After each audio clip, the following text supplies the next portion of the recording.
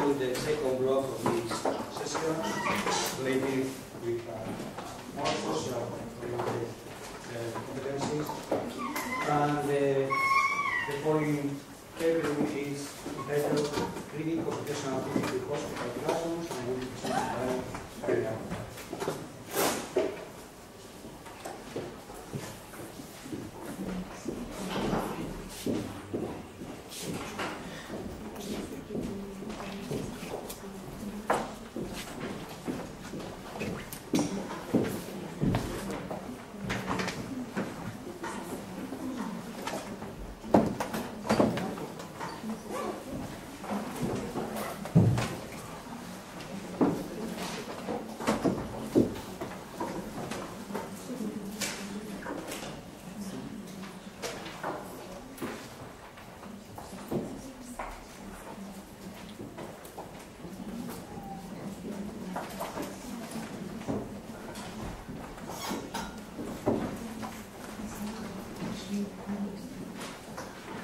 Okay, good morning everybody. Um, it's great for me to be here and sharing with you this morning uh, my my work, uh, my work with some colleagues. Uh, I'm from, I'm Carina Gonzalez, I'm from University of La Laguna and also from Open University of Catalonia. Colleagues are from University, of Barcelona too. Um, we are working trying to introduce the new literacy, uh, such as the coding or computational thinking tool, into inclusive contexts like hospital classrooms. Our, our work is based on the, on the idea that technology are present our society today, that uh, we need to, to try to open uh, in, in a special context like uh, hospitals and in special situations like children with illness hospitals. Try to use technologies in this kind of context uh, for in order to to open and normalize the, the life of the children when they are passing uh, these kind of situations.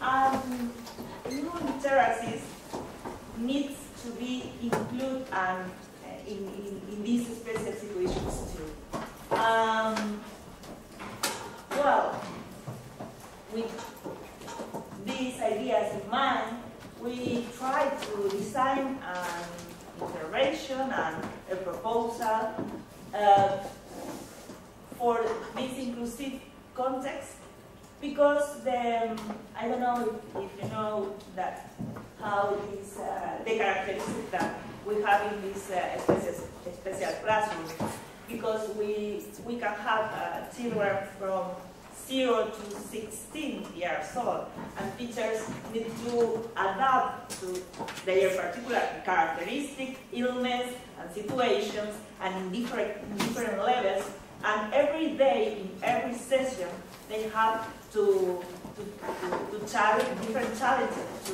to, to, to affront. And our idea is to introduce this kind of uh, computational, this kind of uh, new literacies, not, not uh, just STEAM or STEM. For us, it's a new, uh, new literacy, new, new way to thinking in this particular uh, sessions. And, and well, for, for, this, we design a, a proposal, a, an educational proposal, with different strategies, and carry out a, a pilot study to, to view the possibility and the feasibility to develop uh, a new way to uh, teach and learn computational thinking in hospital classrooms with this particular situation that I mentioned before. Well, uh, I've been working in hospital classroom since um, 2000, 2008, I think so. Yes, more than 10 years working in this context. And, and is uh, really, I don't know how to say, but it's, it's really, for me, it's very, very uh, important because uh, you have uh, a lot of uh, special situations with families, with uh, children, with adolescents, um, and with teachers. Um, it's not only you know to design the curriculum that they need to to develop in the in the school. You need to develop other strategies and work with the emotions uh, and with, with, the emotional state uh, because the, their emotions impact directly in their health. And it's not only about the knowledge that you, you need to bring to uh, inside the, this kind of uh, special hospital classrooms. And in, in Spain, we have a luck, we are lucky because in every public hospital we have uh, this, this kind of special classrooms inside the hospital, but it's not a real, the, reality, the reality, reality of other countries. It's not the norm, but they are in development. For example, in, in Argentina, it's a very well established uh, country that there are regulations and norms and laws about this uh, kind of uh, hospital classrooms, but it's not a, it's a fact in, in other uh, uh, countries, but they are trying to introduce uh, this new literacy. In 2017, I've been in, in Boston working with Marina Bers, and we I had a, we had an experience in the Boston Children's Hospital uh, bringing uh, a robotic kit uh, named Kibo. Um, Kibo, you, you can try, we, we, we can teach and learn uh, computational thinking and programming without screens. We had uh, wooden blocks and uh, a robot. And I thought, why I cannot bring this kind of experience and develop a special uh, proposal to work in, in, in Spanish uh, hospital classroom. And I started to work in Canary Islands, um, pre preparing teachers to, to this kind of uh, new literacy too, not only bringing my experience or our experience from academy to the hospital classroom, we need to prepare the teachers to develop in, uh, this kind of uh, activities in their classrooms. Uh, but robotics are nowadays are using many kind of uh, hospitals, social robotics, special social robotics like social robot uh, companions and working with emotions. And, um, there are, I, I've, um, I, I, I, have done an, uh, an literature review about robotics in hospital cancer. Um, we have a very positive uh, results of their use in this kind of context. But our approach is not use social robotics, it's use educational robotic kits to, uh, to create a, a proposal to teach and learn computational thinking and coding without the screens. For example, in, in several hospitals in Spain, there are another uh, experiences use uh, robotics too, but our case of study is, is different in this, uh, in this uh, goal because we try to develop a framework or a proposal to, to, to digital and this kind. Well, our case of study uh, was formed with the children that attend normally to the hospital classroom uh, exam in, uh, last year, and they, we studied not only computational thinking learning, but also their emotional state before and after pass uh, to our session. And we defined several methodologic, methodologic, methodologic sorry, uh, strategies, educational strategies to work with, uh, um, with them. And this is Lorena, uh, my colleague.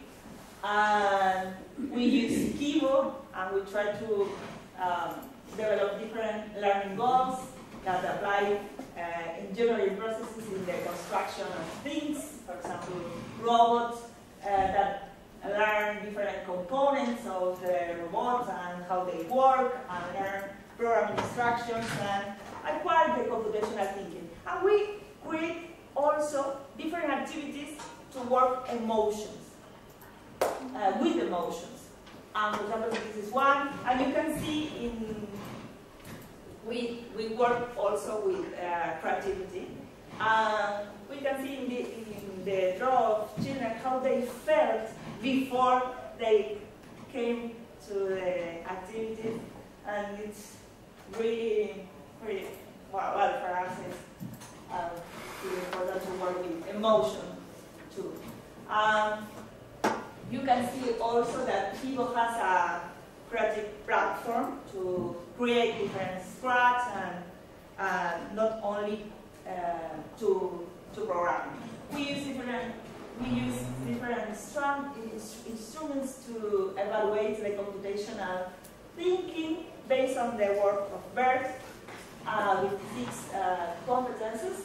And we use a journal session main, mainly based on observations and it's a qualitative uh, uh, method to, to, collect information.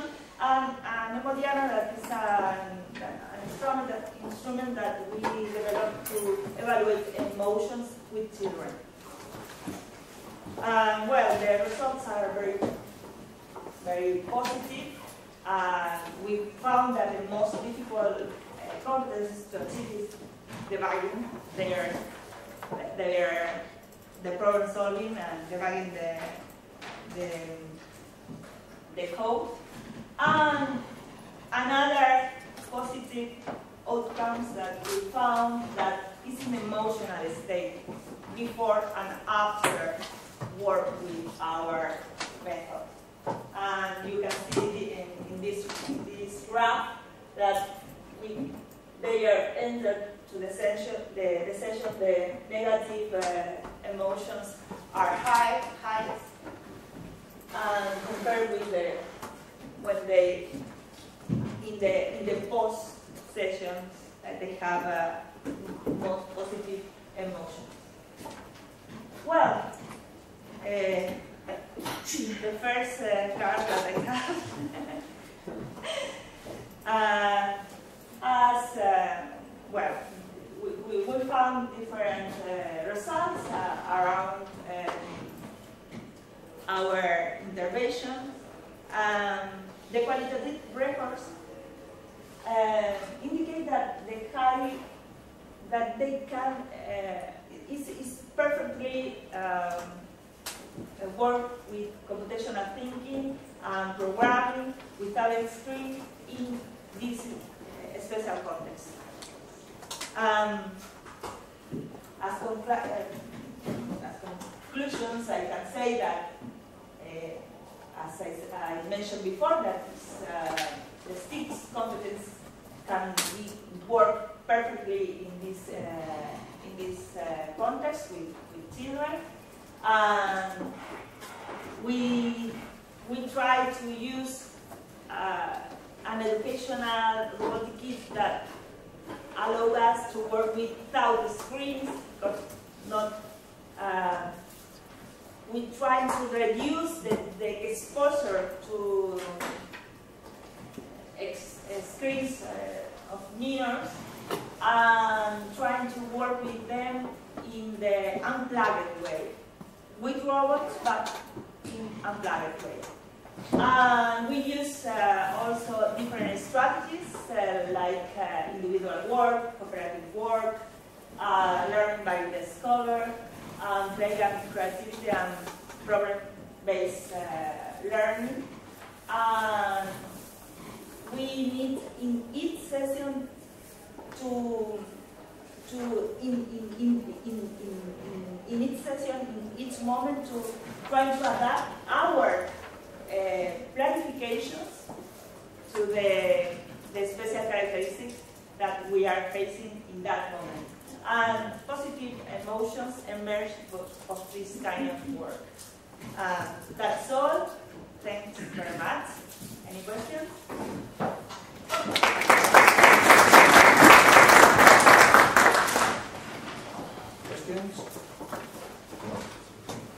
Yes, uh, thank you so much for the presentation. That was really interesting. And the thing that really captivated me the most was the fact that you uh, pointed out the factor of emotions. And personally, I haven't worked with such a scale of trying to measure emotions, so I would be really interested in hearing about what scale are you using or how can you categorize if an emotion is positive or negative? There like something that already exists regarding that? Or are you like developing it as it goes? No, um, I've been working with uh, emotional evaluation before, with, with, with video games and gamification too, and human interaction with children. And I have a, um, I have my own instrument validated to the Emodiana to evaluate the um, subject. It's a subjective evaluation, but it's uh, qualitative too. And we, we have a, I, I can share with you if you want uh, different instruments that you, you can use in, in different kind of Scenarios. uh, scenarios that Thank you. Yes. Hi, thank you for the presentation. If I understood well, you work with kids, right? yeah. Yes. So, in a methodological level, what were your ethical considerations to work with kids? Because, I mean, I think it's, it's difficult to work with kids. So, Yeah, yeah, yeah. Um, well, we have an informed consent, and if you enter to any hospital, mm-hmm. you have to pass to the ethical committee, and you need the, you need first to have the approval of the ethical committee, and we have this. And we worked also with the educational ministry in Canary Island, Consejería de Educación of Canary Island, and we have all documents. And we, we have the approval of, to use their image in some case, in some cases not. And every session, uh, with families came to the hospital classroom, they have to revise, you know, if, uh, because um, I not mentioned mentioned it before, but uh, in every session we have different kids because we have a, a very short term. Uh, uh, it's the new way to treat children. It's not that the, the, the approach is that they have not passed uh, uh, more than one week if they they can, of course. And every session, in every week, we have different different children with different ages, with different ages, and we have to prepare your documentation, and before they came, also revise everything. Um, you need to reserve the time for this in your intervention if you if you need to uh, to if you want to work in this kind of uh, special context. Um, and also there are a lot of considerations if you use, for example, uh, internet or something in connected way because mm, it's another uh, another procedures that you, you need to, to develop yeah. with the hospital. So if I understood well, I can see three levels. I mean, the government, permission for the government, Exactly. the, The hospital, hospital, yeah, and then and the the parents. parents. Okay. So difficult. Thank you so much. Congratulations, Carina. It's very interesting your work. Uh, you talk about uh, emotions in the children, but what about the emotion of the teachers? Oh, You have um, pre-evaluation and post-evaluation for the teachers? no, I don't. I don't, but you, you mentioned something that I would like to work with. Because um, eh, I say that uh, before that I've been involved in, uh, with teachers uh, in hospital classrooms since 10, 10, 10 years ago. Um, and well, they face for two extremely difficult situations with children. And some teachers cannot afford that. Eh, It's, it's impossible. They, uh, some, um, you know, um, with that, withdraw the, you know, Yeah, yeah. the, their work because they can afford that kind of situations. I, I saw a lot of uh, you know, sadness Yeah, yeah. uh, Um, with this kind of teachers, and you, you need to work with um, to prepare teachers to face this kind of situation. For that, we develop, a course, uh, and we have a MOOC in Liara to work with ICT in hospital classrooms, and trying to, you know, to, to um, create some uh, special uh, course for them. And we have another course with uh, Veronica Violant from University of Barcelona, and we are working in some different courses to prepare teachers, but we don't evaluate. Thank you very much. Any question? Mm, Well, thank you. Um, I would like to say that I'm very interested in the tools, the educational tools mm, that are used to, to teach the computational thinking. And my, my question is why Kibo? Ah, There is a lot of, to my knowledge, there is a lot of other unplugged tools. Why Kibo? Well, Kibo is because uh, they, this tool is uh, a really validated tool. And Kibo was developed, designed and developed by uh, Marina Bers. Working with her in Boston. Um, I, I have a very knowledge about this kind of uh, uh, robotic kit. It's, it's a fact that there are a lot of uh, educational unplugged robots. And, uh, but I know very well this, this uh, kind of uh, educational kit. And we need some kit that allow us to work with different ages from 0 to 16 years old and to, to, to allow us to work with creativity too. And you know that you, in Kibo you can uh, you can different uh, you, you can develop different kind of uh, yes creativity activities around around, around uh, Kibo, and we have a framework before framework to evaluate positive development of technology based on Kibo.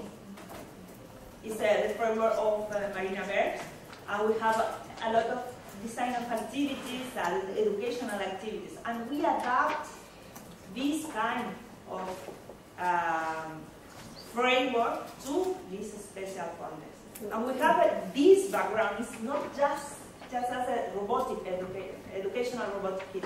It's a robotic kit with a lot of uh, you know instruments and uh, educational activities and other different things around these kids. And we try to adapt everything to introduce this in this special context.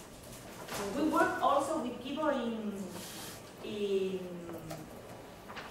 in uh, education in normal uh, classrooms, traditional classrooms, too. Uh, but after that, we after we prove, we test these uh, activities, we bring to this special context. So the, the platform uh, of system, um, of evaluation or is, is in place? Yeah. Validated. Do you, do you have problems with the age of the? You say four, it's not the same context, especially for the sixteen, fifteen, fourteen, and so forth. Yes, and sometimes we, need to adapt, for example, not only for the age, uh, also for the situation. For example, with children with a dementia or, you know, in um, child, or, yeah, we- uh, mobility reduce or other kind of uh, problems that they have in the moment. And this is the, the, problem to work with uh, children with illness in hospital. We, we need to uh, think and about in the moment, at the moment. Uh, for example, uh, sometimes we, if uh, the children can't uh, move around and we think in some dance with Kibo, for example, activity, uh, we need to adapt everything to, to this uh, situation. Okay, thank you, Karina, so much for the work.